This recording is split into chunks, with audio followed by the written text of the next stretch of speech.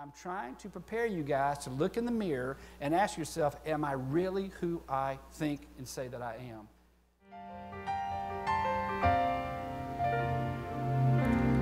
The news came to Jesus.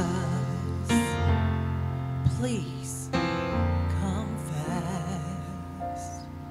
Lazarus is sick, and without your help, he would not last. Mary and Martha watched their brother die. They waited for Jesus, he did not come, but they wondered why. The death watch was over, he'd been buried for days. And somebody said he'll soon on his way. Martha ran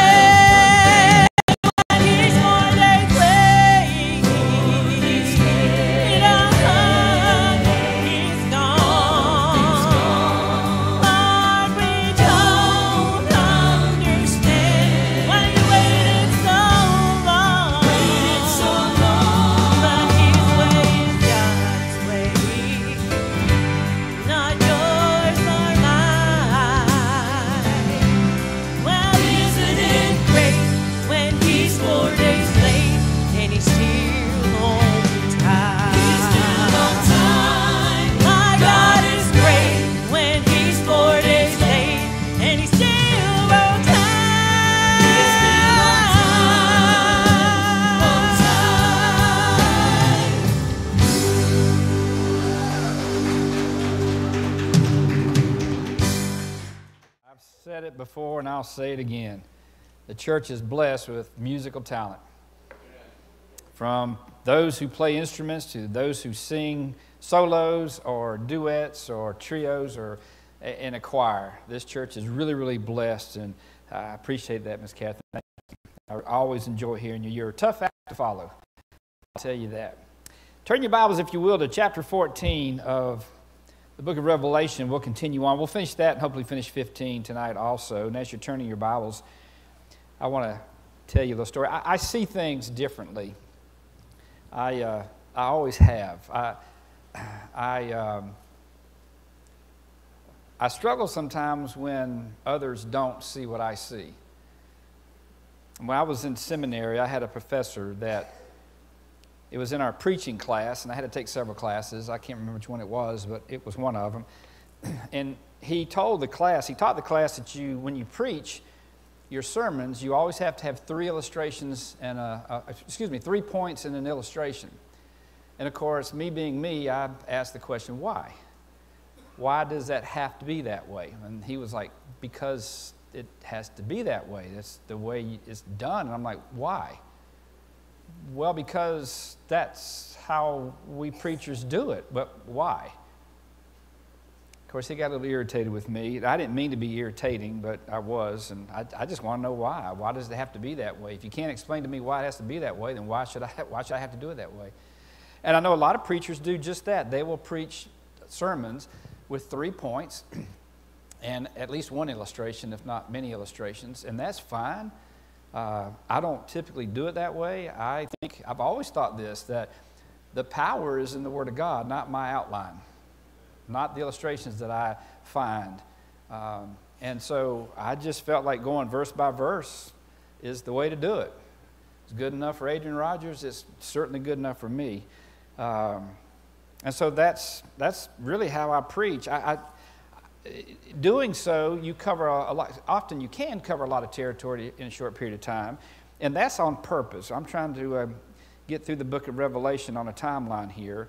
We could go back and start all over again, and we could probably spend two years just taking our time going verse by verse again, but going a little deeper. But that's not the point to this series.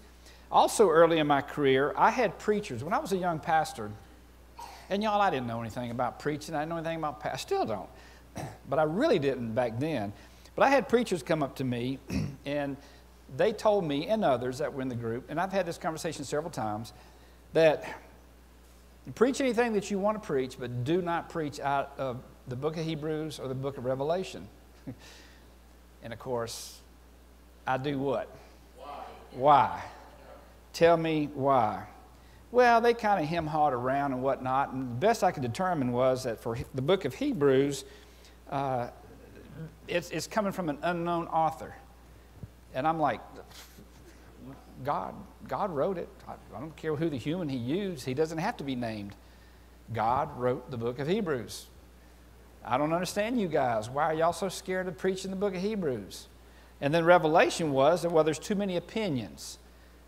People nowadays have access to books and uh, tapes. At the time, it was cassette tapes. Y'all remember that, right? Uh, with different teachers, and they all have opinions. And I thought to myself, well, that's fine because there's a lot in the book of Revelation that we don't know for sure. God just chose not to reveal exactly what he meant by it. So you can form your opinion based off of good exegetical uh, research, and that's fine. But if you make it simple, if you keep it simple, you probably won't get into any trouble. And I've had people, not here at this church, but other churches where I preach Revelation with the same process. I'm going to keep it simple. We're not going to get bogged down in the Antichrist. We're not going to get bogged down on 666. We're not going to get bogged down on who is the creature that comes out of the black lagoon and stealing the poor damsel in distress. We're not going to get bogged down in all that stuff. We're just going to say, we don't know, and certainly move on. It's worked for me. But I've had people come up to me, Richard, that it's like, well, I don't agree with that. That's fine. I'm not Tarzan and y'all cheetah. I, I, I, well, that's fine. Miss Megan, that's fine. Miss Tina, that's okay. If you don't agree with me, that's, that's wonderful. People won't agree with David Jeremiah. People won't agree with Billy Joel, or Billy Joel, Billy Graham. yeah. I told y'all, y'all, I'm, I'm not as sharp as I used to be. I'm telling y'all. My mind doesn't operate the way it used to be. Anyway, I'm telling you all that to, to get to this point. In order for us to understand the Bible, we need to keep it simple you can, you can get yourself bogged down trying to study the Bible to determine one little phrase in that Bible. You can spend your lifetime trying to figure out what that little phrase meant. If God doesn't define it, it's not important for you to know. Are y'all okay with that? He's telling us that that is in existence, but if He wanted us to know, He would tell us in the, uh, in the, in the Bible somewhere. So, to understand the Bible, I wrote this down just a few minutes ago. It tags along with this morning's sermon. We need to understand that God wrote it. And because that God wrote it, it should be a little challenging to us. It should, listen, we're not reading Dr. Seuss, we're not reading Romper Room. The Bible should be challenging to us, but it's not impossible to understand. Number two, God wrote it for us, but He doesn't read it to us. It's not something that God's going to sit down at the nightstand when we go to bed and read us a bedtime story. That's not the purpose of this book. God wrote it for us, but doesn't read it to us. So that means we must read it. But we don't just read it, we study it. We don't just try to read it academically, trying to find all the pieces to the puzzle because you're not going to be able to do it. But if we try to study it as a love letter written to us, we'll spend time, won't we? We'll spend time trying to, to understand it better. Am I right? If it's just a, a, junk mail that comes in the mail, you look at it, you might open it up and read it, and the first paragraph you throw it away. I don't understand I don't care about that. But if it's a love letter from somebody, you're going to pore over that thing. You're going to try to understand what they're saying in that written word. I've noticed that in school, the topics that I put forth an effort into were the topics that I mastered, were the topics that I eventually, might, might have been a slow going, Miss Crystal, but sooner or later in that semester or that year, I would start to master that subject. But I'd have to put effort into it. The same way with the, the Bible. I start to see it more clearly as I study it. And like I said, guys, I see things differently. And that's okay. I don't make apologies for that. I'm just stating something that's obvious to me. I see things sometimes differently than others, and that's quite all right. So we're going to pick up in chapter 14 where we left off. I think that was in verse 13, picking up in verse 14. Is that what y'all have? Actually, we're in 13. I tricked y'all. Thank you, David. yeah. So the scripture says this And I heard a voice from heaven saying unto me, Write, blessed are the dead. Now, we just talked about the living. We just talked about the 144,000. We just talked about in uh, the first part of chapter 14 the assurance that God gives us that the redeemed of any age will be with Jesus Christ. That's the whole purpose of redemption. If you're redeemed in the 1400s, or if you're redeemed in the 800s, or if you're deemed, redeemed in the 2100s, it doesn't matter. If you're redeemed, you're going to spend your eternity with Jesus Christ. That's a hallelujah moment for the church. We should be thankful for that no matter what's going on in and around us. If we are redeemed, we will be in the presence of God at some point. And I'm looking forward to that. I trust you are too. Uh, verses 6 through 7, we see the gospel will, will be preached to the whole world. The entire, listen, God is not changing the game plan one iota. It is the preaching of the Word of God that is foolishness to them that are perishing. But it is the preaching of the Word of God that has been given to those that will be saved. As much as I love the music, and God can work through music, amen. Here's the dichotomy of music and preaching. Here in this world, we get preachers get to preach, and we carry the burden of the preaching uh, um, delivery in order for people to hear the gospel of Jesus Christ. It can be delivered in song, but primarily it's delivered through preaching according to the Word of God. In heaven, I'm out of a job, y'all.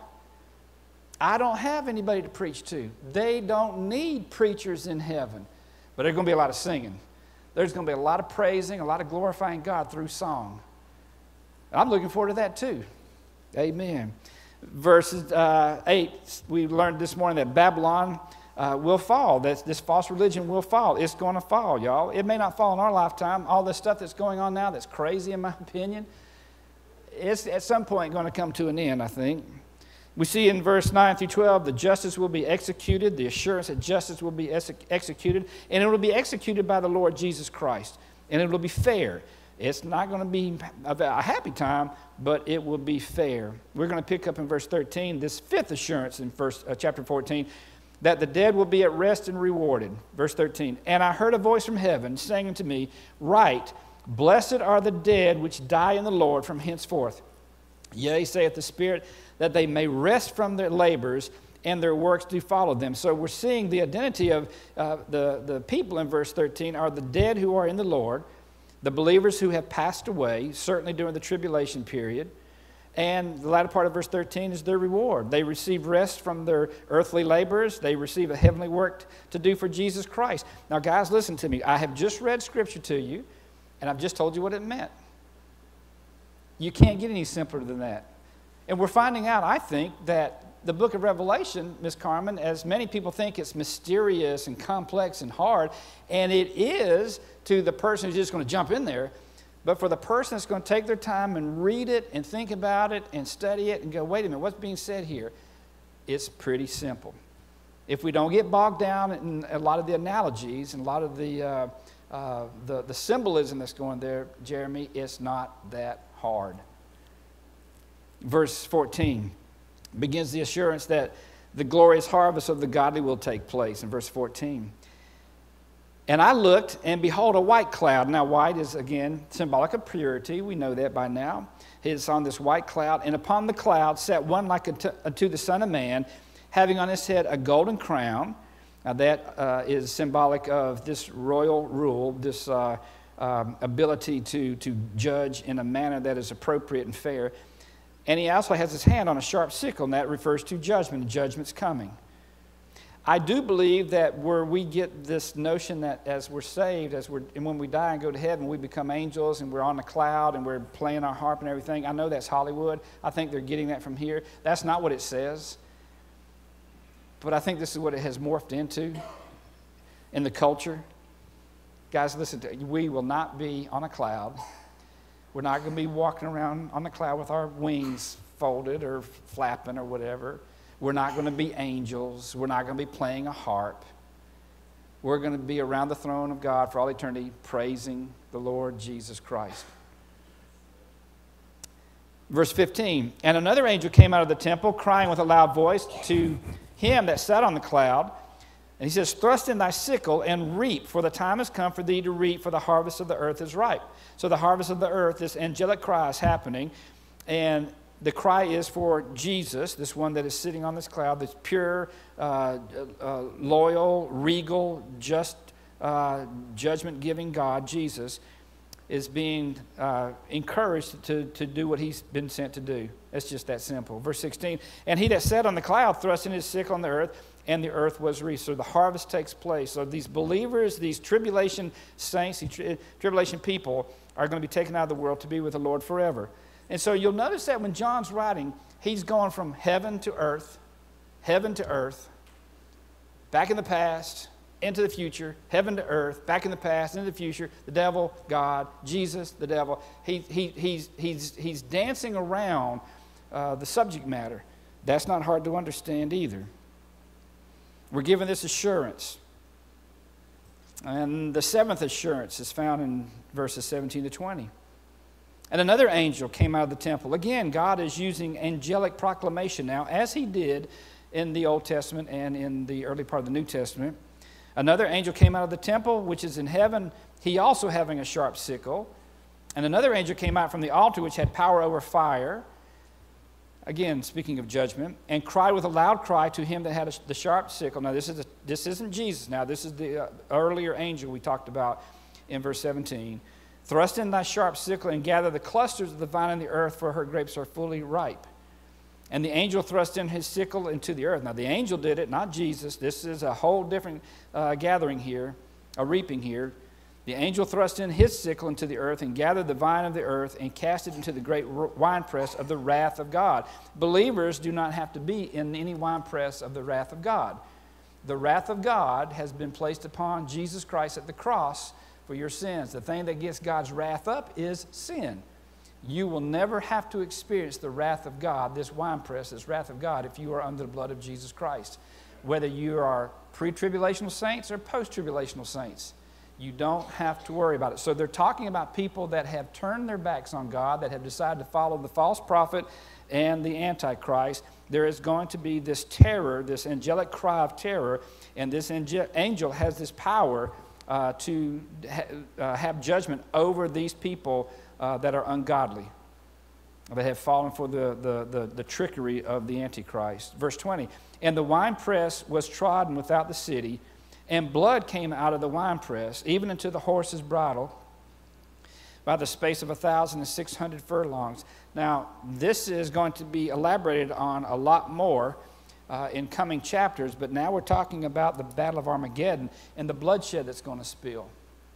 And this bloodshed is going to fill a valley that's 183 miles long, and about 20 miles wide to a depth of anywhere from two feet if the, if, if the horse is leaning down with his muzzle, or maybe as high as four, four and a half, five feet of blood. Now, is this literal or figurative? Don't know. I'm thinking it's literal. I think there's literally going to be enough bloodshed that, that this pool of blood will fill this area. That, y'all, that's a lot of blood. We have five quarts of blood in a human body. I can't even imagine how much bloodshed is going to happen, but this is what the Bible's foretelling. You and I do not want to be any part of this or have any part of this. And Joel, there's no reason for us to have any part of this. There's absolutely no, unless I just want to be rebellious and disobedient, and maybe I just want to see for myself, but who in the right mind would want to do those things? We get to chapter 15. Chapter 15 is still dealing with the seventh trumpet, but it, the seventh trumpet is going to open up the seven vials or the seven bowl judgments. Verse 1 And I saw another sign in the heaven, great marvelous, seven angels having the seven last plagues for them is filled up in the wrath of God. We'll get to those plagues next Sunday morning uh, in chapter 16, and they are very similar to the plagues that God put upon Pharaoh in Egypt. Now, why is that? Could John not be more, um, uh, more charismatic in his writing to tell us a different story? Or is he mimicking what's going on in Exodus? I think it's that the Lord is a entity that does things the same way over and over and over. And this is one of the reasons why it's so important to understand the Old Testament. Because if we don't understand the Old Testament, the New Testament just won't come to life for us. And if we don't understand the New Testament, the Old Testament is just kind of old and boring. You put the two together and understand that they're connected and understand how they're connected and why they're connected, this book comes to life. This book is something that you can't, it is a runaway bestseller. It is an incredible read. You won't be able to put it down once you start to get to that point where you're like, I see a connection here. I see that God's doing something. We'll get to more of that next Sunday morning. So we get to verse 2 And I saw as it were a sea of glass mingled with fire, and them that had gotten the victory over the beast and over his image and over his mark. And we understand what that is now. We understand who the beast is, we understand his image, we understand uh, what the mark is, perhaps, or where it may be located, or at least some possible, possible and plausible explanations. And over the number of his name stand on the sea of glass, having the harps of God. In verse 3, and they sing the song of Moses and the servant of God and the song of the Lamb. This is a new song. The song of Moses is where? Turn your Bibles to Exodus chapter 15. Exodus chapter 15.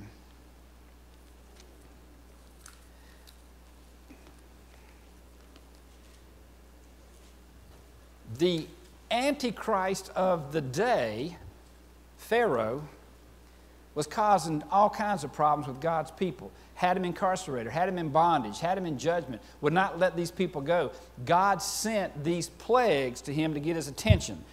He let his people go. They got about halfway where they were going. Pharaoh changed his mind because that's what the devil does. He's a lie and a cheat and a thief. Pharaoh is symbolic of the devil in this book of Exodus and certainly throughout the Bible. God miraculously delivers them away from that bondage, away from that, that tyranny. And they get to the point when they're on the other side of the Red Sea, and in verse 15, uh, chapter 15, they sing what's known as the Song of Moses. And I'm going to read it to you. Then Moses and the children of Israel sang the song to the Lord, the Song of Moses referred to, saying this I will sing to the Lord, for he has triumphed gloriously. Now, he did this in Egypt back in the day. He's going to do this across the world in the coming years, I think. Certainly at some point he's going to do it. And these people that are saved, these people that understand his salvation, in spite of going through the most horrific, horrible set of circumstances they possibly could have, will sing this. It's going to come to them naturally, I think. I will sing to the Lord, for he has triumphed gloriously. The horse and its rider he has thrown into the sea. Y'all remember the four horses we talked about back in the earlier chapters? The Lord is my strength and song, and he has become my salvation. He is my God, and I will praise him. My father's God, and I will exalt him. The Lord is a man of war. The Lord is his name. Pharaoh's chariots and his army he has cast into the sea. His chosen captains are also drowned in this Red Sea. The depths have covered them. They sank to the bottom like a stone. Your right hand, O Lord, has become glorious in power. Your right hand, O Lord, has dashed the enemy in pieces. Do y'all see the connection here in Revelation? Humor me and shake your head, yeah. Yeah, y'all, y'all see this connection? God is going to do on a global scale what he did on a regional scale back in the Old Testament. Why? Because God is the same yesterday, today, and forever. God does not change. God's offer of salvation is never going to change. The culture may say you don't have to do this, but if God says you got to do this, you got it. It's never going to change. Culture may say that well you have to do this. If God's word says you don't have to do this, it's never going to change. The blood of Jesus Christ washes away our. That's never going to change. It's never going to change. The people can say, well meaning people can say, well, blood sure is kind of a gory thing. I mean, why does, why does your God have to deal with blood? Because the Bible also says that the life of the body is in its blood. It's blood. If he'd used peanut butter, we'd have had people saying, well, why is God going to use peanut butter? We just need to stop being silly and just realize that this is what God has said and he's going to say it 2,000 years ago, and it was applicable then. It was applicable in the 1300s. It was applicable in the 1700s. It was applicable in 1900s. It's going to be applicable if God tarries another thousand years in the year 3024. It's never going to change. And God is giving us these examples to let us know that, well, wait a minute, He did this before on a regional scale. Why is He doing it on a global scale? Because He never changes His methods. And these people are singing about it. We keep going to verse 6. Become glorious in power. Who is the right hand of God the Father? Jesus. Jesus has become glorious in power. They're recognizing it, perhaps. He's always been glorious. Your right hand, O Lord, has dashed the enemy in pieces. He's going to do it. And in the greatness of your excellence, you have overthrown those who rose against you. He's going to do it. You sent forth your wrath. He is going to do it. It consumed them like stubble. He is going to do it. And with the blast of your nostrils, the waters were gathered together. The flood stood upright like a heap. The depths congealed in the heart of the sea. The enemy said, I will pursue. Good luck with that. I will overtake. I will divide the spoil. My desire shall be satisfied on them. I will draw. Yeah, you keep saying all you want. Verse 11 Who is like you, O Lord, among the gods? There is nobody like him. There are no gods. There are fictitious gods, there's man made gods, there are things that we want to worship as gods, but there's only one God, and he is worthy. Who is like you in glorious and holiness, fearful in praises, doing wonders? You stretched out your right hand, Jesus. The earth swallowed them. You in your mercy have led forth, by the cross, by the way, in verse 12. You in your mercy have led forth the people whom you have redeemed. You have guided them in your strength to your holy habitation. This is exactly what he is saying he's going to do in these chapters that we're reading now. I find that to be absolutely incredible. I don't think there's a person alive that could go the amount of time it took to write this book and the number of different authors it took to write this book, and they would all be perfectly aligned with one another unless God did it Himself. It's impossible.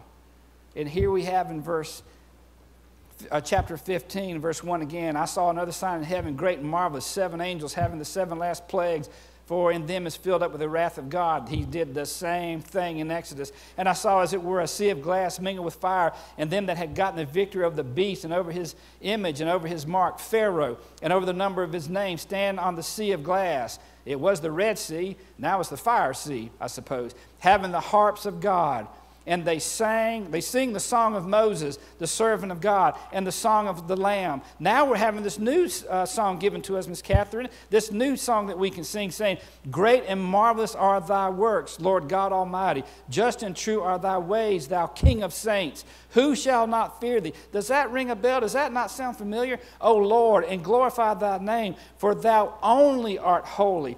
There are no other gods. That ring a bell? It does to me. For all nations shall come and worship before thee, for thy judgments are made manifest. This new song is the old song. And I want to share something with you as I've done my research that I thought would be kind of cool to mention to you, not about this song. And I want to this. I want to compare these two songs. The Song of Moses was sung at the Red Sea. The Song of the Lamb is sung at the Sea of Glass. The Song of Moses was a song of triumph over Egypt. The Song of the Lamb is a song of triumph over Babylon. The son of Moses told, the Song of Moses told how God brought his people out. The Song of the Lamb tells how God brings his people in. The Song of Moses was the first song in Scripture, and the Song of the Lamb is the very last song in Scripture. The Song of Moses commemorated the execution of the foe, the expectation of the saints, and the exaltation of the Lord. The Song of the Lamb does the same thing. The Song of Moses was sung by redeemed people. The Song of the Lamb was sung by redeemed people.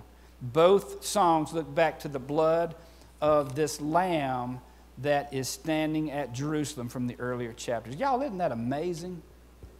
Isn't that amazing? How can John write this to correspond with what Moses write, wrote to such a degree of perfection?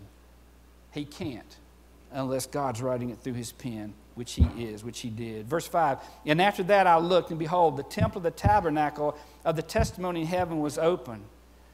And the seven angels came out of the temple, having the seven plagues, clothed in pure and white linen, and having their breasts girded with golden girdles. Y'all don't need me to tell you what that means, do you? Y'all ought to know that. Y'all ought to be picking that out by now. Verse 7 And one of the four beasts, we know who that is now, don't we?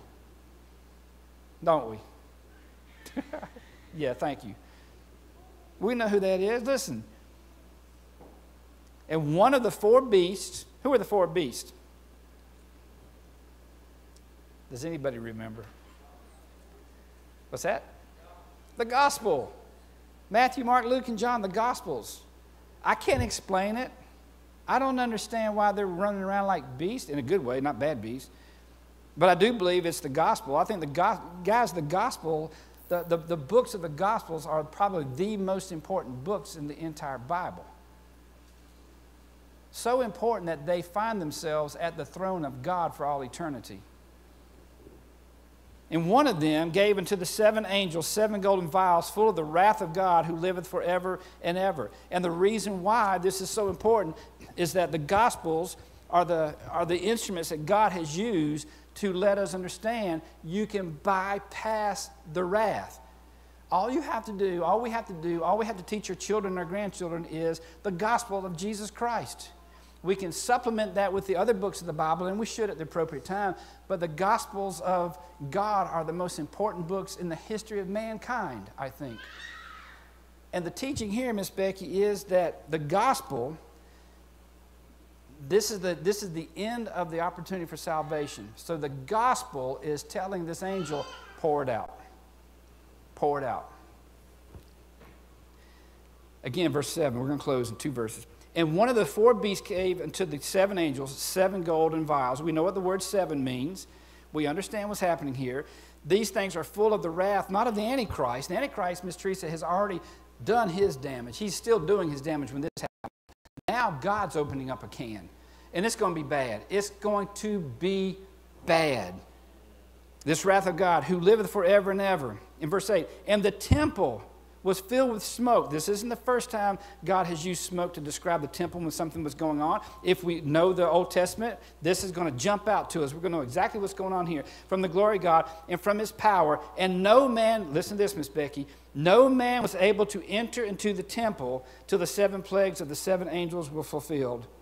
The beginning of this judgment is the beginning of the end. And at this point in time, Jeremy, there are no more saved. There is no opportunity for salvation. God is saying, enough's enough, I'm done. I'm going to open up my wrath. And the people are going to see it. And if you're not saved at this point in time, I don't know what to tell you. But the good news is, we don't have to go through it. Church, I can't stress it enough. When I first got baptized. I remember like it was yesterday how I responded afterwards. I went down, Dr. Lewis, and I wanted to be baptized. And he baptized me. That Monday, the next day, I'm at work, and there's no change in me. I didn't realize how important that was until months later.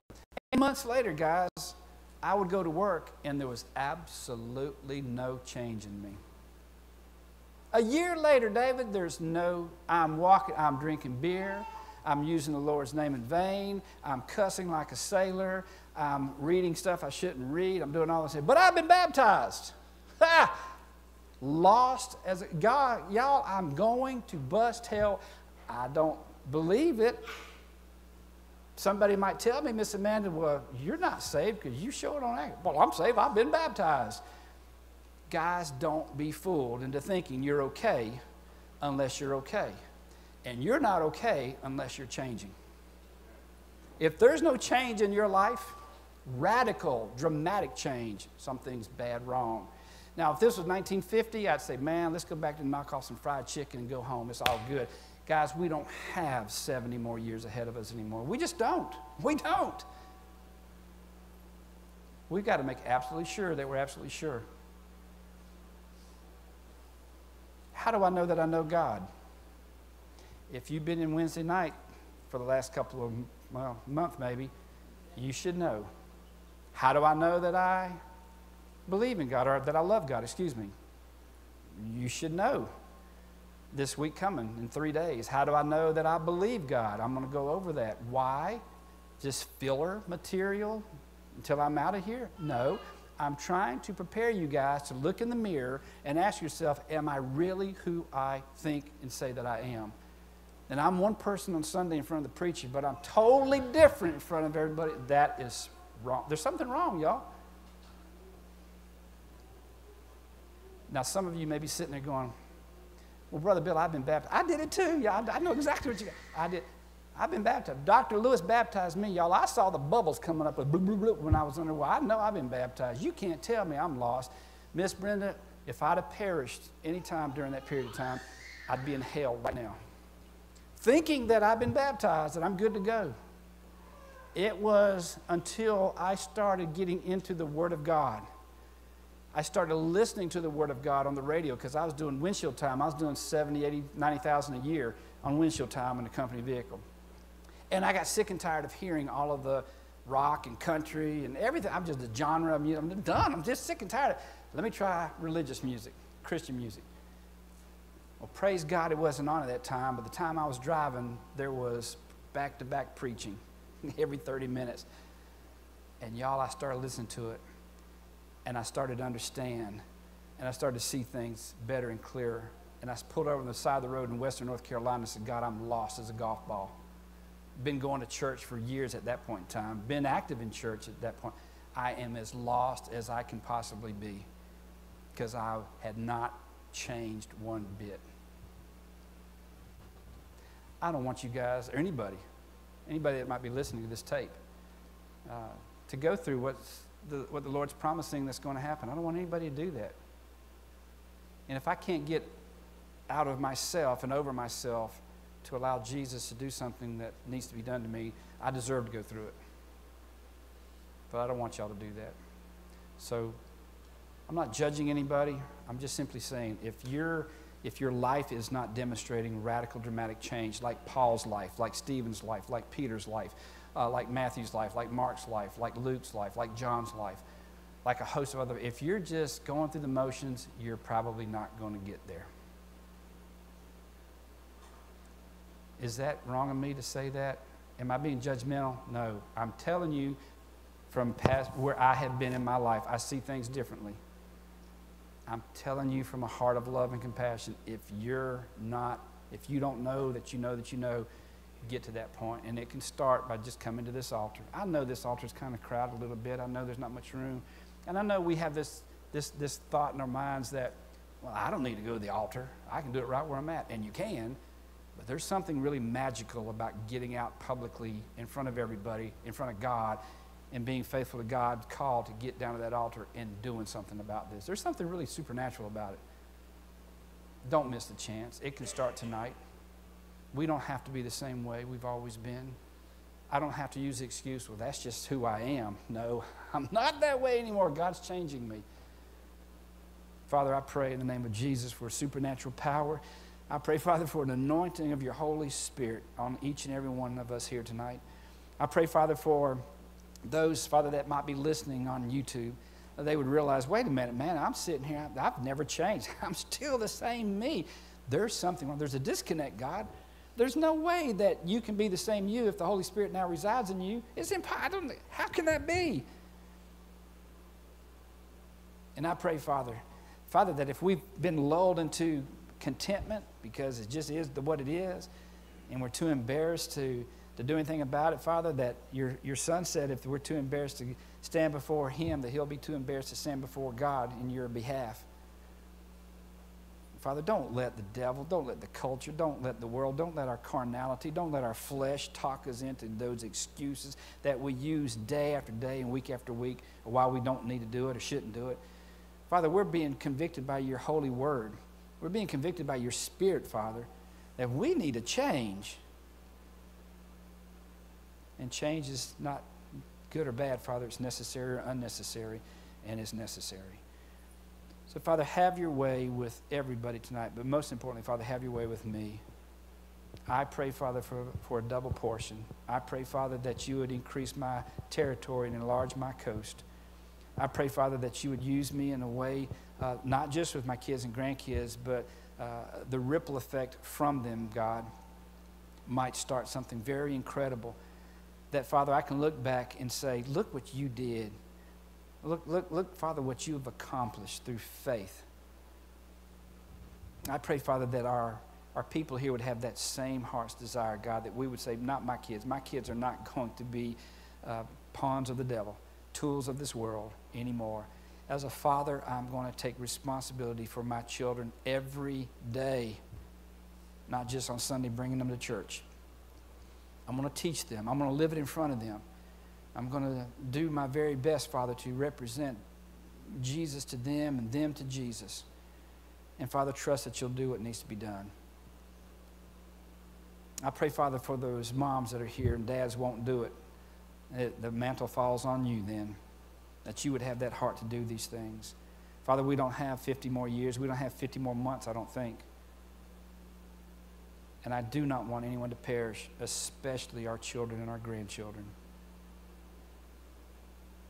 So, Father, have your way with our hearts tonight. Let us do what needs to be done. In Jesus' name we pray.